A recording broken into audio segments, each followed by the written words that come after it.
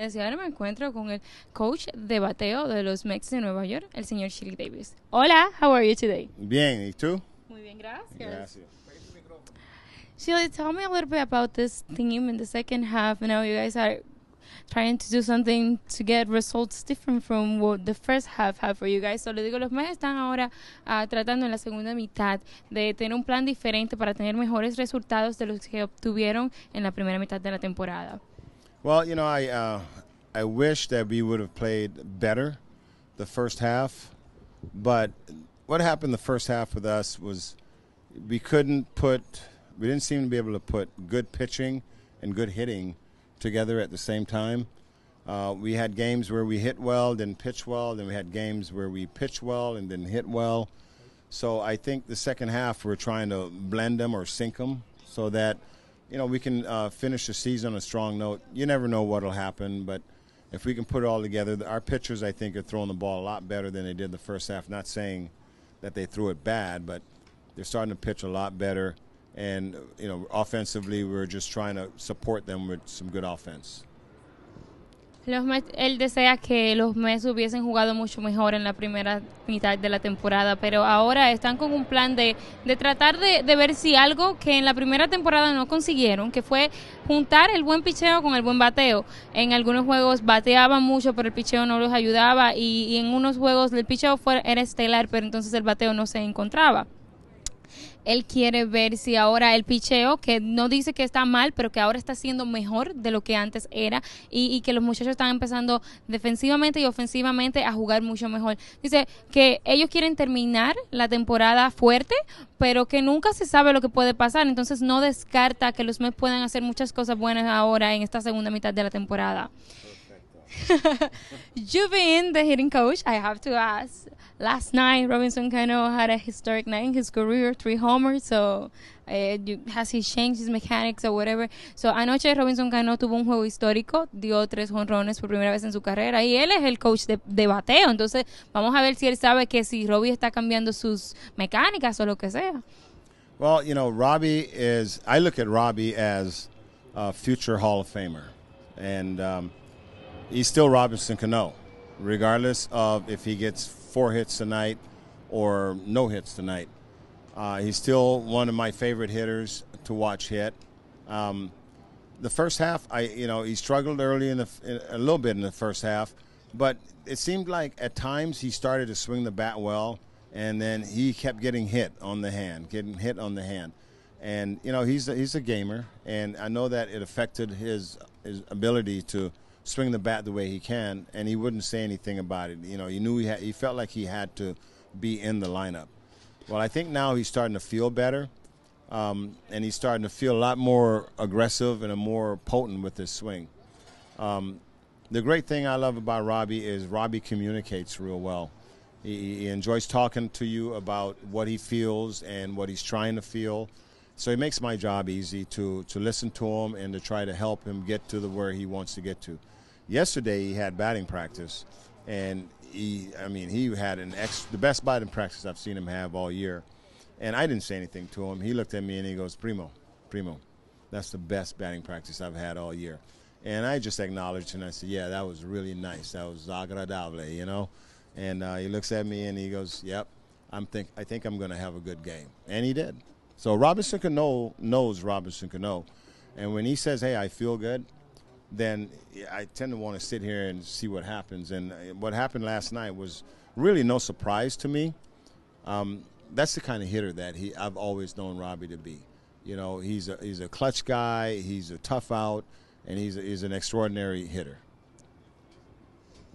Bueno, para Chile, Robinson Cano es un jugador que pertenece, pertenecerá en el Salón de la Fama. Y dice, Robinson Cano sigue siendo Robinson Cano, aunque dé cuatro hits o que no de ninguno. Él dice que Robinson es un bateador extraordinario y que él entiende que en la primera mitad él estaba teniendo en algunos momentos que empezaba a batear bien, pero seguían dándole en la mano, él seguía siendo golpeado en la mano. Entonces, para él dice que Robinson le gusta comunicarse, que es algo que hace que el trabajo de Chile sea más eh, bueno y, mejor, porque él puede comunicarse con él y ver lo que trabaja y lo que no trabaja para él. Si Cano se siente bien o mal, él lo comunica. También dice que ayer eh, Cano tuvo una práctica de bateo que fue increíble. Según él, la mejor que ha visto a Cano tenerla. Y él lo supo como coach y Cano lo supo como jugador. Y sabía que iba a tener un juego increíble. Y solo se sentó a esperarlo y vieron el, tremendo juego que pudo tener Cano. Entonces él dice que Cano conoce a Cano y sabe cuando está bien y cuando no está bien. So chilly. I heard that you like Johnny Ventura music a lot. so, ah, you see, I got my connect. Ah. So, any particular Johnny Ventura song that you know? So, él es fanático de Johnny Ventura. Él está diciendo aquí que, que no, pero a mí ya me contaron todo. So, well, you have to understand, I'm Jamaican, okay? So I like a lot of different music. Um, I'm starting to, you know, because of being around baseball and being around a lot of Latin players, and Latin music has evolved from the salsa, merengue, the you know that that type of music where you might hear a certain type of uh, music in Mexico, you might go to Puerto Rico hear a certain type of music, Dominican Republic. Now it's kind of all blending, and it's also added uh, a blend of hip hop and reggae and you know, now it's reggaeton, you know. So I like a lot of music, and I'm starting to even like country music, which is, you know, incredible. Yeah, but um, you know, uh, the Latin music has a, a, a, total different feel and sound and beat and, and, and groove and vibe and whatever you want to call it. So, you know, Johnny Ventura is just one of the artists I like. I don't really know the names of the songs.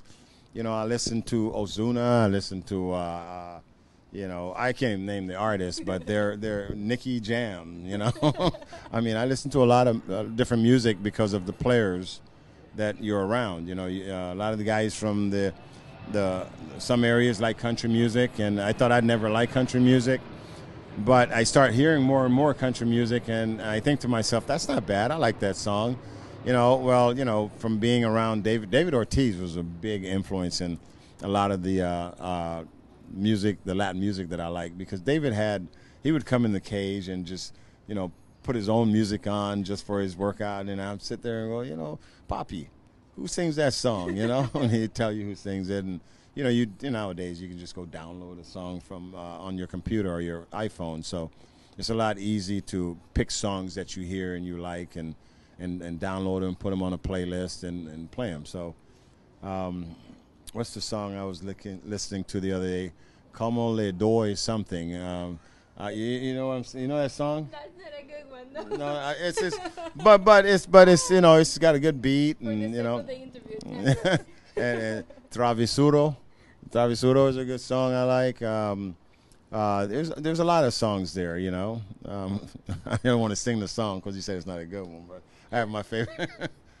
Entonces él me dice que como él siendo jamaiquino, él ha tenido, eh, eh, ha estado expuesto en siendo en el mundo de, de, la pelota con muchos latinos y que su música y su gusto musical se ha desarrollado mucho. Él ha escuchado, ya le gusta el merengue, la salsa, le gustan los beats le gusta el sonido que tiene. Entonces dice que la influencia han sido muchos los peloteros, en especial David Ortiz, porque cuando David Ortiz llegaba a, batear, él llevaba su propia música y era música buena y él le preguntaba como, David, que, ¿quién canta esa canción? Y, lo miraba.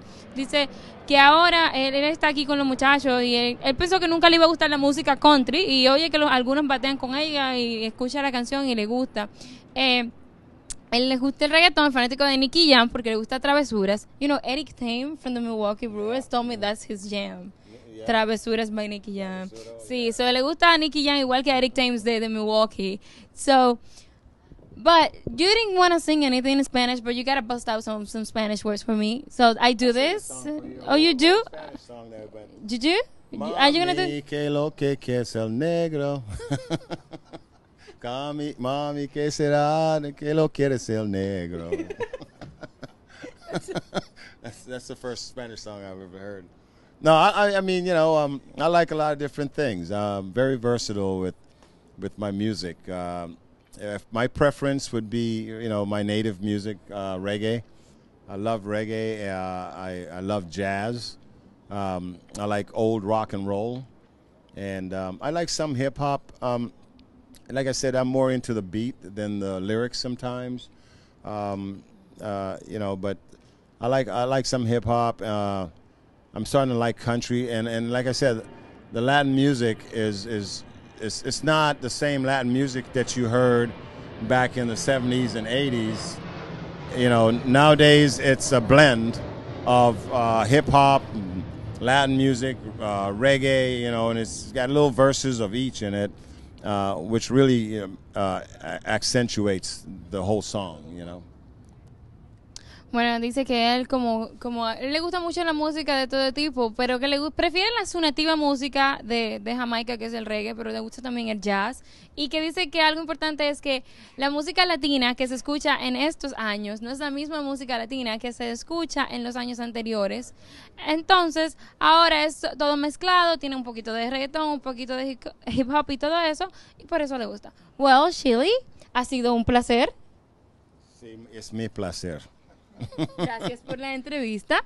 De nada. Amigos, esta fue la entrevista con Chili Davis.